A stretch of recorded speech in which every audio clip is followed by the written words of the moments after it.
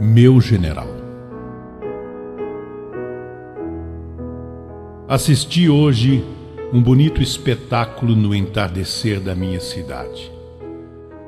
Os militares reformados prestavam sua última homenagem a um velho tenente que não fez carreira porque não era letrado.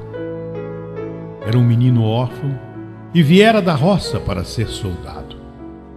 Durante muitos anos ele construiu uma família, educou seus filhos apoiado nas Forças Armadas.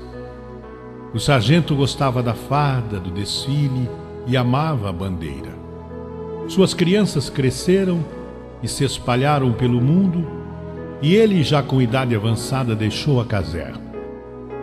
Há dois anos, um câncer matou sua primeira e única companheira. E o velho soldado sentou-se na calçada para assistir o seu último desfile. Neste entardecer, seus velhos companheiros da reserva estenderam uma bandeira verde e amarela sobre o seu peito deitado. Um deles discursou e o exaltou. Num canto, um soldado raso que parecia outro roceiro chegando executava o toque de silêncio. No final do sepultamento, todos prestaram continência ao tenente reformado.